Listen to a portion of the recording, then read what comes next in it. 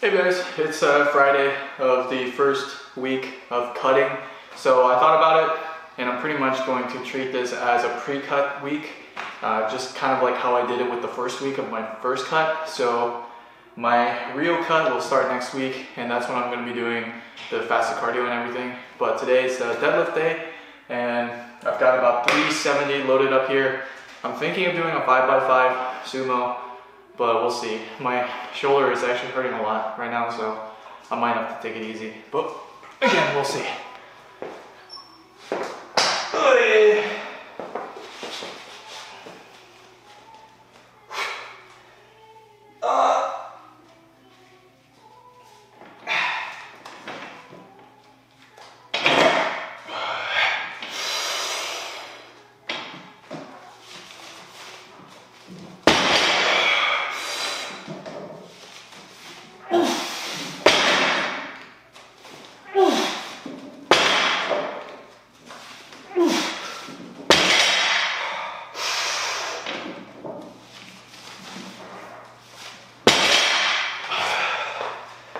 Oh, that was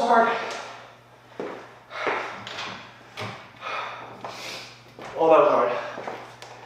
All of my blood is rushing to my head right now, and I can feel the pre-workout in my ears. Ugh. They're like ringing in my ear.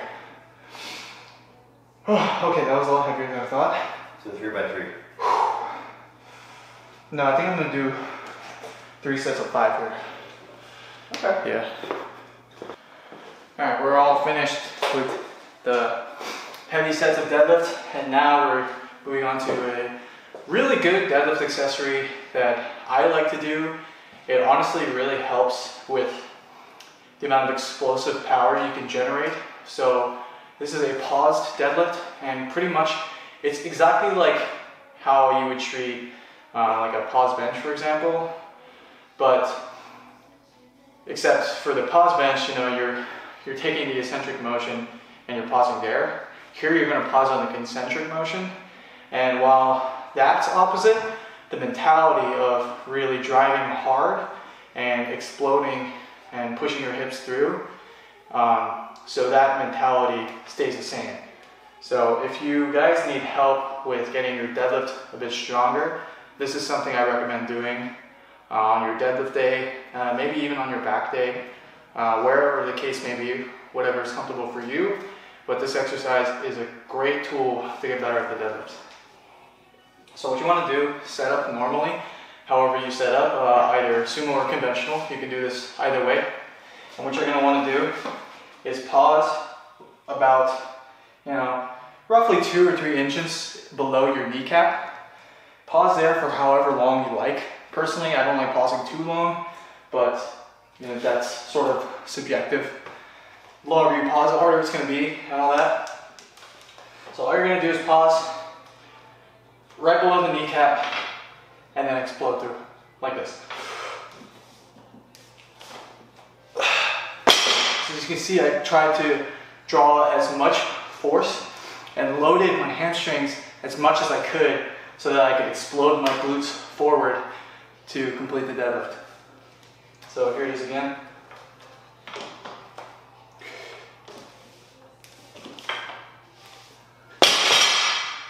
So with this exercise, you know, don't go too heavy, but also don't go too light.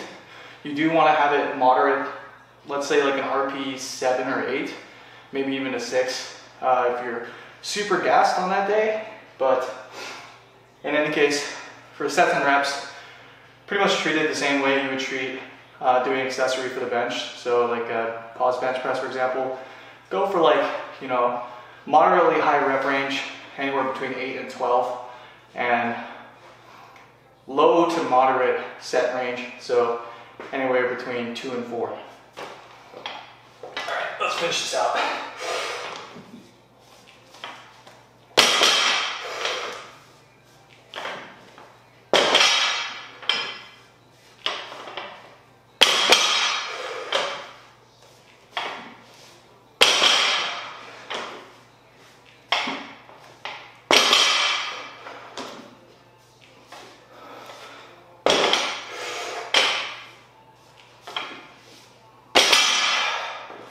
I was supposed to do hip thrust next, but I'm too lazy, so I'm gonna do some of these uh, glute pushback, press back, however you wanna call it, glute kickback. And we're gonna do it with this low row here, with this little ankle attachment. Uh, yeah, this exercise is a little bit awkward if you don't have something to brace in front of you.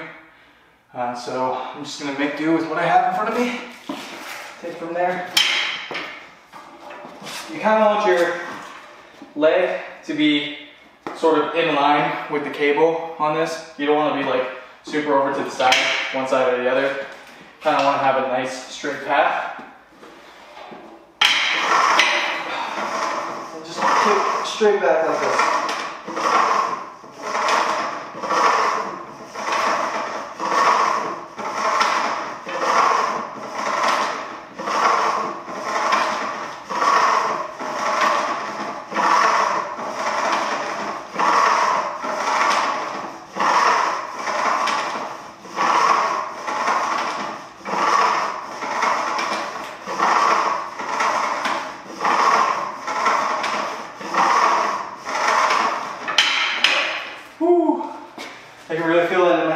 actually.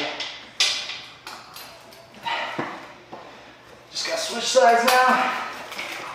Do the same thing. So I guess I'll brace like this.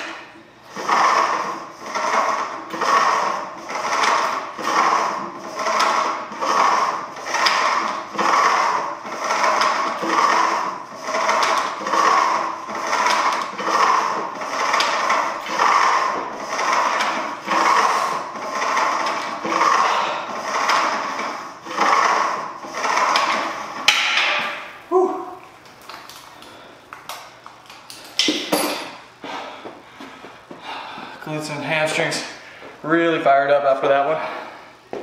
Say one. All right, leg press time. Go. Complete. Yeah, that's good.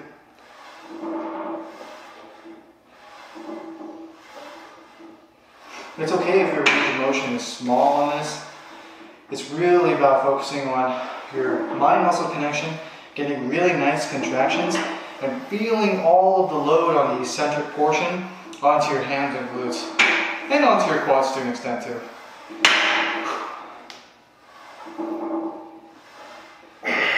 Yeah. Center all that weight onto your feet. That's the way. Feels good. Do way. You can do that. Alright. Yeah. You'll be able to handle this much, for sure.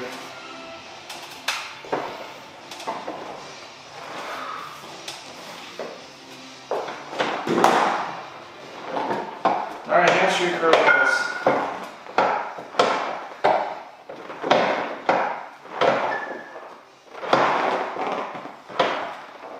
Nice. So, we can do hamstring curls on my home gym, but the lightest weight is actually a little bit too heavy. I can handle it just barely, but I just decided to do them here on the, uh, the bench press. And honestly, it's fine. It does wobble a little bit, but And these come off. yeah, it, it's fine. It serves its purpose, really. I am gonna go a little bit heavier though. So it's a little bit too late for me. Let's try these on here. That should be good. All right.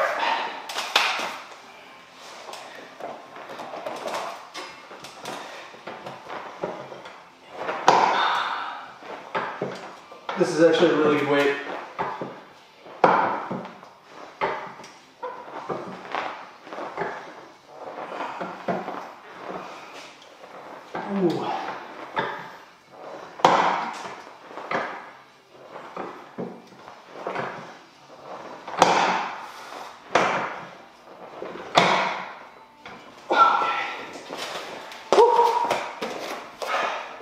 felt really good.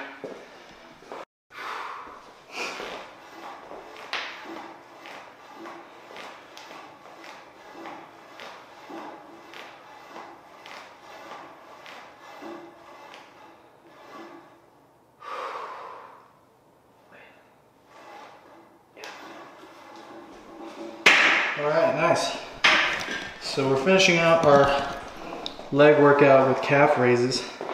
And luckily on this leg press, there's a little bit of a slant. So you can actually get really nice eh, flexion and extension here. Since you can sort of get your foot back like that and really feel the stretch on your calf. So I'm really glad that that's just not a completely flat plate and it has that little slant, that little slope.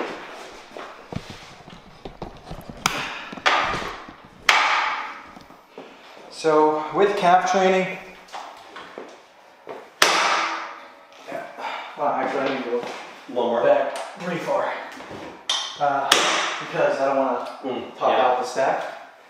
But yeah, so with calf training, I do like to alternate between really high rep ranges with a sort of lighter weight and really focusing on the squeeze and sort of getting that time under tension, and also lower rep ranges focusing more on the weight and the amount that I'm pushing. So today is one of those lower rep range days. so we're gonna go pretty heavy.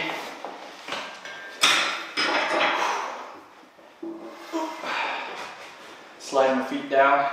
And so you can kind of see that my feet are pushed back quite far. And I can actually get really nice contractions of my calves. And I'm not pause repping or anything like that. I'm really just focusing on pushing as much weight as I possibly can.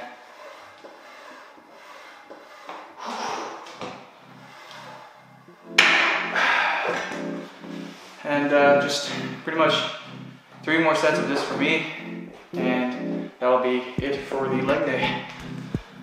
Whew.